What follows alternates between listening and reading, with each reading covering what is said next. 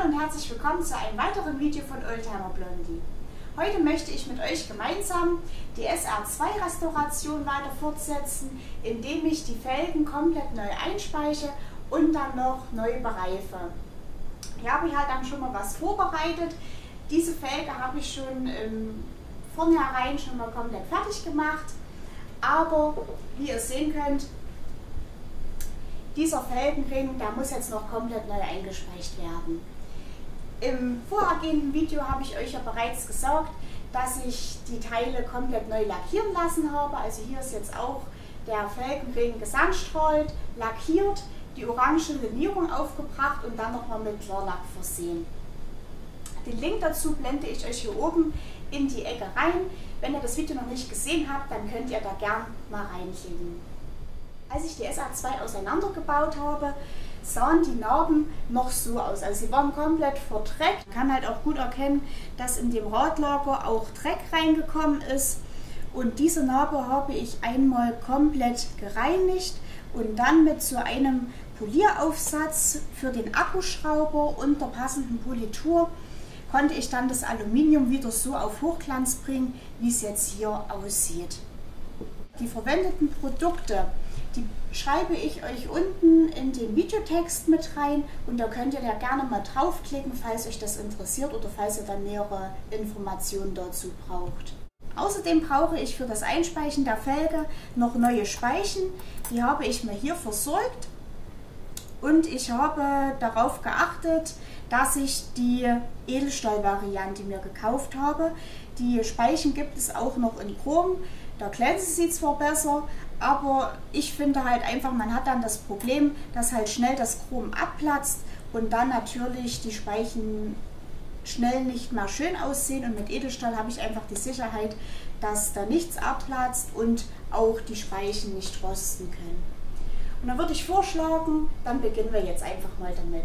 Ich möchte diese Felge in dem alten Speichenmuster, wie es auch original damals war, wieder frisch einspeichen, wie ich es jetzt hier auch schon vorbereitet habe. Dazu müssen wir etwas darauf achten, wie wir dann letztendlich die Speiche in die Narbe reinstecken. Hier kann man ganz gut erkennen von der Innenseite, dass es immer ein paar Löcher gibt, die so leicht versenkt sind. Das ist dann, ähm, da müsste dann die Speiche von innen nach außen reinstecken. So wird dann auch der Kopf schön versenkt. Und bei diesen anderen Löchern kommt dann letztendlich die Speiche von der Außenseite rein. Und damit möchte ich jetzt auch erstmal beginnen. Das heißt, in jedem zweiten Loch kommt jetzt die Speiche einmal von außen rein.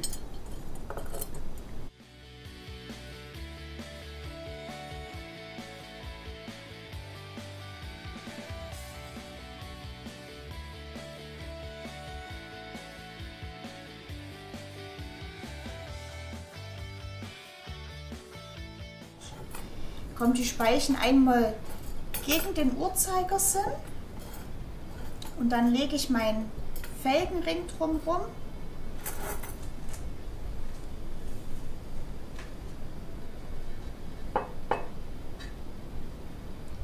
So, und jetzt müssen wir darauf achten, die Löcher sind ja in verschiedene Richtungen hingebohrt. Und für dies für die erste innere Speiche brauchen wir hier diese Löcher, die nach oben hin zeigen. Da führen wir unsere Speiche durch. Die hat auch hier so ein kleines Gewinde und auf das Gewinde kommt dann dieser Speichennippel drauf. So ungefähr vier Umdrehungen. Weil dann haben wir noch genügend Restgewinde übrig, damit wir dann ähm, die Felge oder die Narbe besser zentrieren können und dass jede Speiche an ihrem richtigen Ort kommt. So, und dann geht es jetzt hier so weiter. Das ist dann jetzt immer jeder vierte oder jedes vierte Loch, wo wir die Speiche einführen müssen.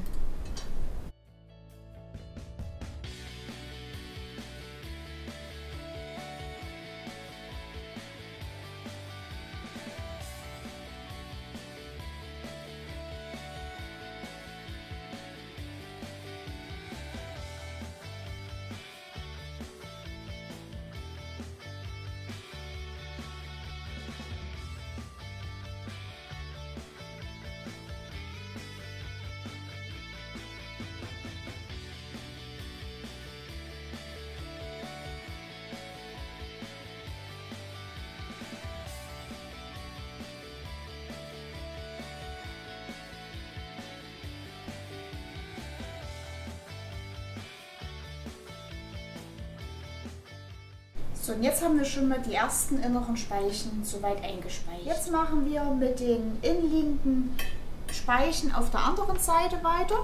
Das Besondere bei der SR2 ist, dass wir auf dieser anderen Seite ein Langloch haben. Das erleichtert uns das Einfädeln von den Speichen. Und um die Speichen innenliegend zu machen, gehen wir mit dem Speichenkopf von innen nach außen. Und dann kommt diese Speiche jetzt hier in, die, in das daneben liegende Loch rein.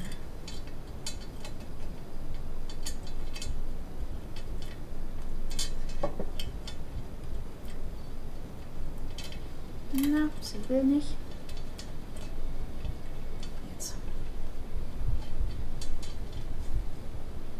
Und das machen wir jetzt natürlich einmal ringsrum weiter.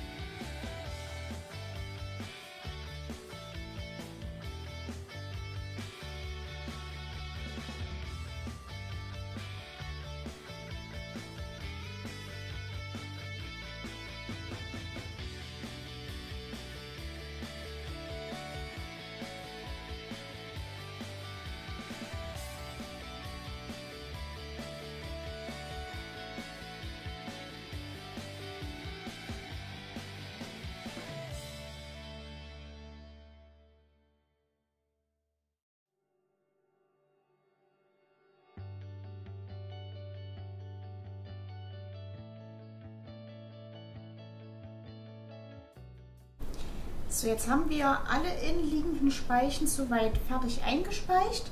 Jetzt geht es an die außenliegenden Speichen und dazu müssen wir jetzt aber erstmal die Radnabe samt ähm, Felgenring einmal komplett umdrehen. Hierzu bringe ich die Narbe etwas auf Spannung, dass mir dann beim Rumdrehen die ganzen Speichen hoffentlich nicht wieder rausfallen.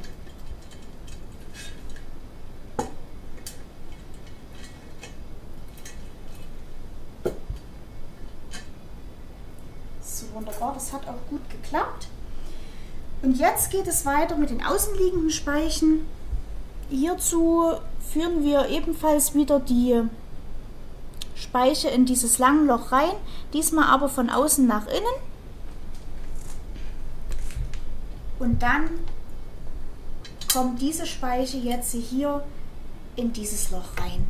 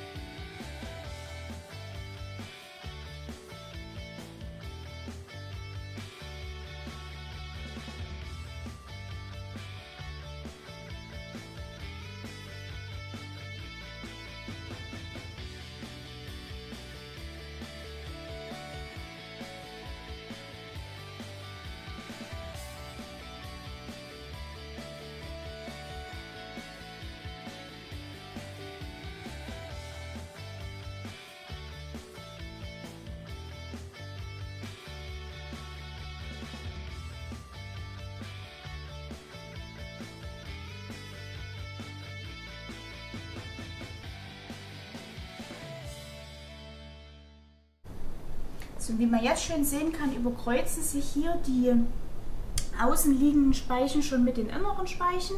Und das müssen wir jetzt natürlich noch auf der gegenüberliegenden Seite ebenfalls noch machen. So, und jetzt müssen wir natürlich noch die außenliegenden Speichen auf der anderen Seite einspeichen. Und hierzu nutzen wir jetzt diese Löcher mit diesen Einkerbungen, was ich ganz am Anfang gesagt habe. Und jetzt stecke ich einfach überall in so ein Loch so eine Speiche rein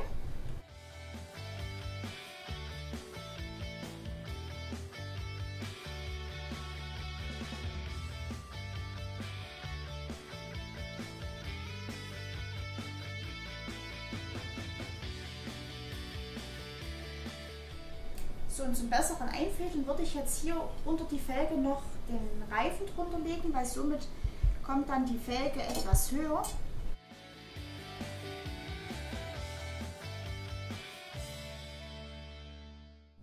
Jetzt sitzt die Narbe etwas mittiger vom Felgenring und das erleichtert mir jetzt letztendlich das Einfädeln der letzten Speichen.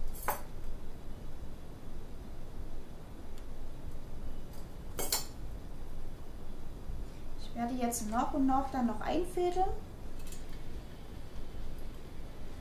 damit sich jetzt hier keine Speiche in dem frisch lackierten Felgenring verkantet und eine Kratzer reinmacht.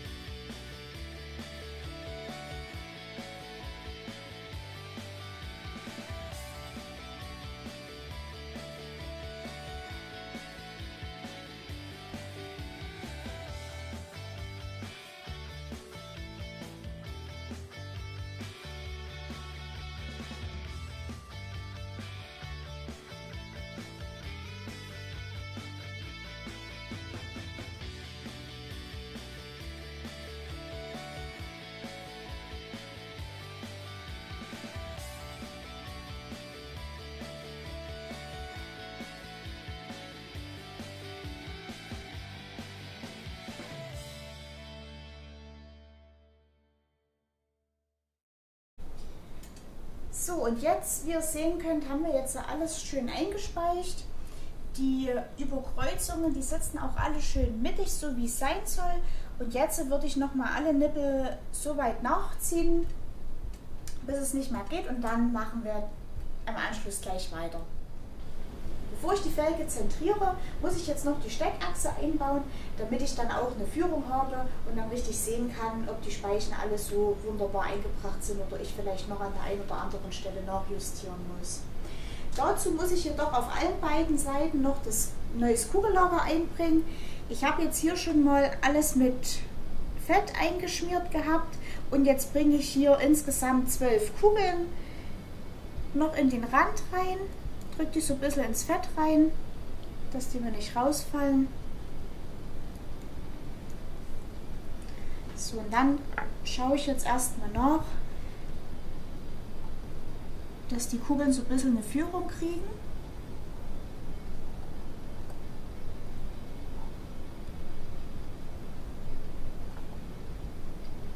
Jetzt bringe ich da oben drauf auch noch etwas Fett ran.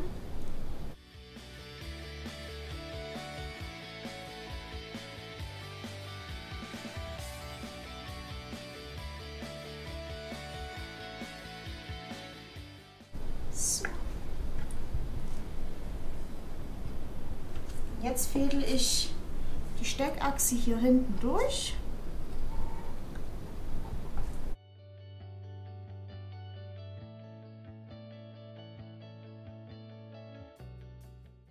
So, jetzt habe ich die Steckachse erstmal handfest dran geschraubt und dadurch, dass ich jetzt kein Zentrierwerkzeug da habe, mache ich es jetzt eigentlich ganz einfach und unkompliziert. Ich habe hier in die Tischplatte ein ganz normales Loch reingebohrt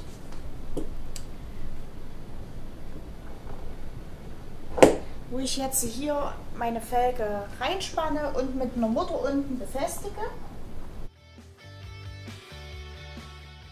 Und dann drehe ich jetzt einfach die Felge ganz langsam und dann kann man halt sehen hier an dieser Messspitze, wo die Felge zu weit nach oben geht, beziehungsweise wo sie zu weit nach unten geht. Jetzt kann man ganz gut erkennen, dass hier so eine Erhöhung ist. Ich drehe nochmal zurück. Da kommt sie halt die Felge ein bisschen nach oben. Deswegen muss ich jetzt äh, genau an dieser Stelle, wo sie nach oben geht, die innenliegenden Streben, die dazu führen, dass die Felge nach unten gedrückt wird, die muss ich jetzt mit Hilfe dieses ähm, Speichenwerkzeuges etwas wieder anspannen, dass wir dann hoffentlich sehen, dass die Felge dann etwas nach unten gezogen wird.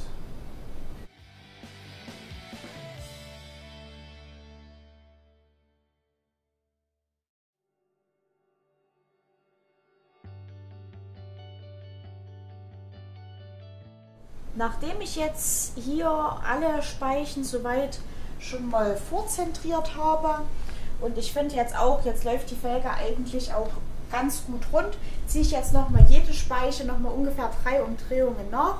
Dann schaue ich nochmal, ob die Felge immer noch so schön rund läuft, denn letztendlich ganz jede Unwucht kriegt man nicht raus, weil das ist nun mal eine alte Stahlfelge. Wenn man das halt wirklich zu 100 Prozent rund haben möchte, muss man dann wahrscheinlich eher eine neue sich zulegen. Und wenn ich das dann gemacht habe und alles in Ordnung ist, dann beginnen wir weiter mit, den, mit der Bereifung.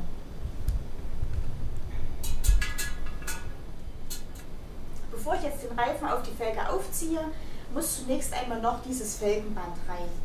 Ihr müsst da aufpassen, dass das Loch für das Ventil natürlich auch an die dafür vorhergesehene Stelle rankommt.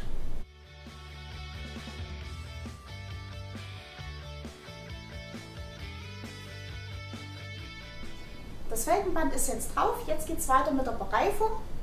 Bei diesem Profil ist die Laufrichtung egal, deswegen müssen wir da jetzt nicht weiter drauf aufpassen, wie rum wir den Reifen anbringen. Und ansonsten habe ich mich für einen 19 Zoll Heidenau-Reifen entschieden. Die in der Videobeschreibung würde ich euch auch noch den Link dazu reinpacken. Da könnt ihr gerne noch mal reinschauen.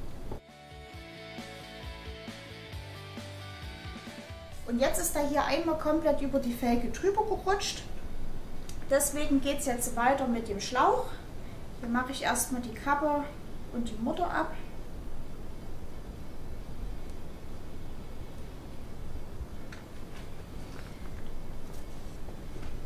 Und jetzt fädel ich zunächst einmal das Ventil durch das Loch durch.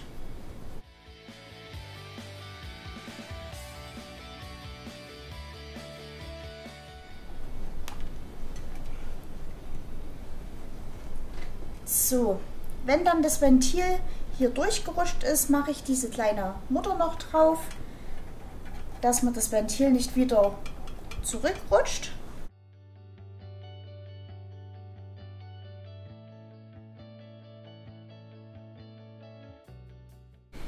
Und jetzt äh, packe ich den ganzen Schlauch hier in den Reifen rein.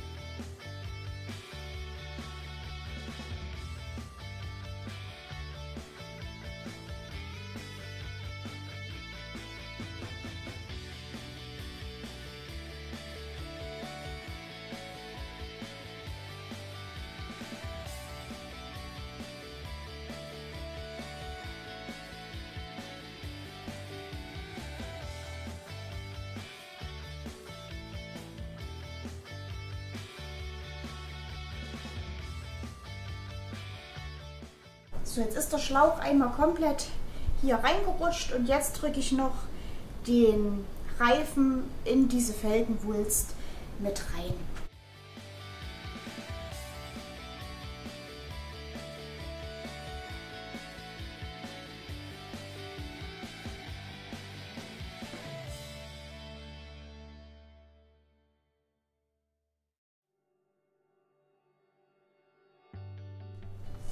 So, die letzten paar Zentimeter gehen natürlich mit einfach mit der Hand reindrücken zu schwer. Deswegen habe ich jetzt hier ein Montiereisen und habe mir hier die vordere Stelle etwas mit Klebeband abgepolstert, dass ich mir jetzt nicht die Felge zerkratze.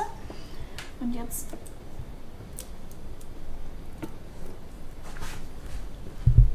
würde ich jetzt noch die letzten paar Zentimeter hier mit dem Montiereisen reindrücken. So. Wunderbar, und jetzt haben wir hier schön die Reifen komplett rundherum, sowohl vorne als auch hinten auf der Felge drauf. Die Bereifung habe ich jetzt auch noch auf das Vorderrad draufgezogen und zu guter Letzt habe ich noch bei beiden Reifen oder bei beiden Felgen hier diese Staubschutzdichtung angebracht, damit einfach das Radlager keinen Staub oder Dreck abbekommt, weil ansonsten würde uns das natürlich viel schneller verschleißen. Vom finanziellen her habe ich pro Speichensatz 30 Euro bezahlt, also insgesamt 60. Für Reifen, Felgenband und den Schlauch habe ich auch insgesamt so 45 Euro bezahlt und dann noch für diverse Kleinteile so ungefähr 5 bis 10 Euro. Wie bereits erwähnt, die Links dazu teile ich euch in der Videobeschreibung, da könnt ihr gerne nochmal reinschauen, wenn euch das interessiert. Und ansonsten hoffe ich, dass euch mein Video gut gefallen hat. Falls ja, dann gebt mir einen Daumen nach oben und abonniert meinen Kanal, dass ihr keine weiteren Videos mehr mit mir verpasst. Und dann sehen wir uns hoffentlich beim nächsten Mal wieder, denn dann wird die SR2 langsam wieder aufgebaut. Also, macht's gut!